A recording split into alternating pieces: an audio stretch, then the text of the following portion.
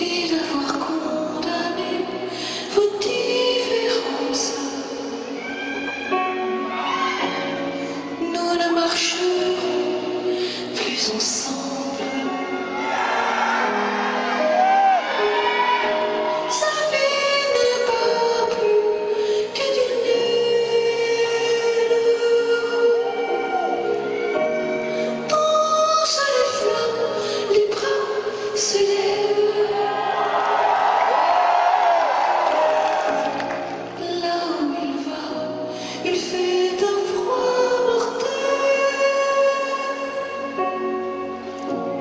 Si l'homme change de ciel, pourtant